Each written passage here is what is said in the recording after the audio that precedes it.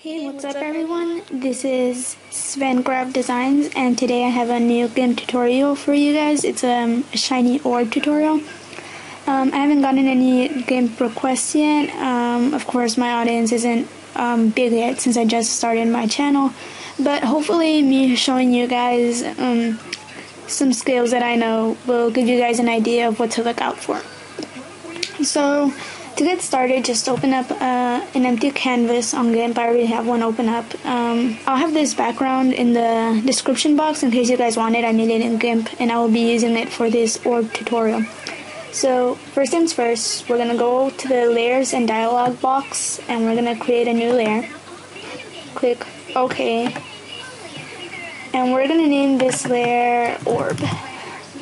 Next we're going to go to the ellipse tool or the circular tool make sure it is on this mode right here. And it doesn't the size of the orb doesn't matter just a semi-normal size is okay. You for this tutorial purposes I'm going to use orange but you can use any color. It, it'll go with anything.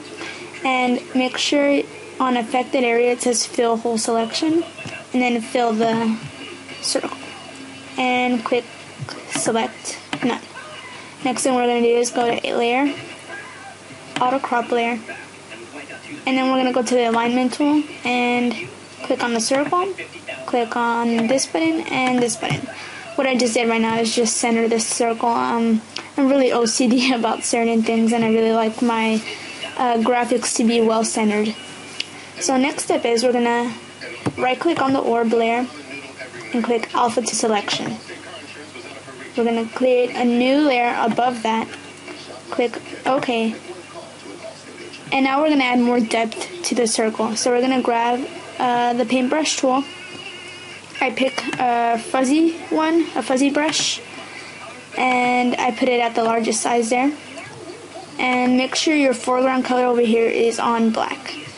And I'm just going to stroke it uh, like this. Next step, we're going to filters, blur, Gaussian blur and I'm going to blur it about 88 and then put select none. I'm gonna um, label this layer burn. And we're gonna put it on overlay. And I'm gonna tone the opacity to about 80 80 is okay. Now I'm gonna make a new layer above that. Click OK I'm going to layer name this one, sorry, um, highlight. Go back to your orb layer, right click on it, alpha to selection. Now go back to the highlight layer. And now we're going to go to the paintbrush tool again. This time I want white as a foreground color. And this time we're going to stroke above that. Like so. Now I'm going to do the same steps again. I'm going to go filters, blur, Gaussian blur. And this one I'm going to do it at about 75 on the blur radius and then click OK. Now put select none. And this one's going to be at set the mode to dodge and tone the opacity down quite a lot. I'm going to leave it at 54.5. Now so far looking good. Uh, we just added a lot of effects. Well, not a lot, but enough to emphasize the circle a little bit more with shadows and highlights and stuff. So next we're going to go back to the orb layer. Right click on it, alpha to selection. Now create a new layer below that. Over here I'm going to label this one white edge. Now we're going to go to select, grow. I'm going to grow it at 4 and we're gonna go to the bucket fill tool over here. White as the foreground color fill whole selection and fill it in. Now we're gonna create a new layer above the white edge one. Click OK. We're gonna label this one um, let's see black shadows. Now we're gonna go back to the paintbrush tool. Make sure to have black as your foreground color. And now we're gonna add where you could say the metalish effect to it. So watch what I'm doing closely. I'm not gonna dab the brush like that. That's the wrong way to do it. You slowly go around the edges and you, you paint it like so, you know, emphasizing it more on some sides than others. Um, this basically you do it to your liking. There is no specific way to have it done. Just make sure you don't be rough on it and just go at it lightly. Once you're done with that, you just go to select none. And as you can see, I gave it this metalish effect somewhat. So now we're going to go back to the white edge layer over here. And we're going to add a drop shadow to it. So we're going to go filters, light and shadow, drop shadow. And blur radius at 25. Make sure to uncheck allow resizing. Oh, Opacity at 100. You can pause the video if you want to check these settings real quick. And click OK. And as you can see, it gave the drop shadow at the edge. I'm going to duplicate that layer just to emphasize it a little more. Now we're going to go back to the orb layer, this orange one right here. I'm going to right click, alpha to selection, and we're going to go on select, invert. And now we're going to go filters, light and shadow, drop shadow. And blur the radius at about 30.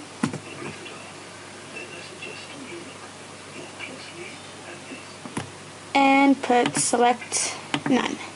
So as you can see I gave it that edge around on the inside though. Now we're going to go back to the orb layer again, right click on it, alpha to selection, and create a new layer. Click OK. Now this layer, move it all the way to the top so that it's above every single layer.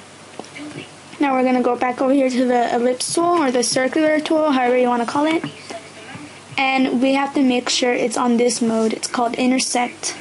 And you have to have it or else it'll just it won't select the orb. And I'm going to select the top half like so. And we're gonna go over here put select shrink.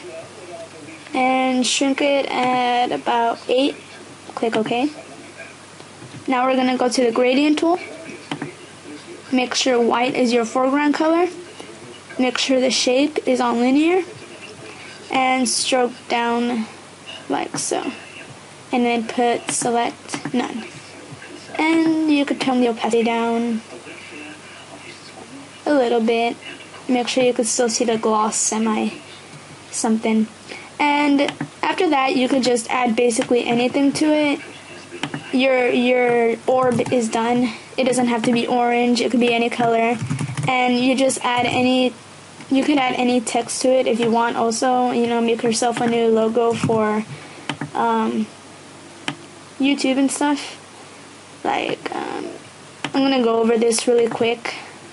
Um, this isn't part of the tutorial. I'm just showing you guys that what you can do with the orb make it into your own logo like so and then you have a nice finished product so that's it for this GIMP tutorial hopefully you guys you found it very helpful I will have the background image I used for this tutorial in the description. I will also have the finished product in the description. Make sure to check out my DeviantArt. That will also be in the description below.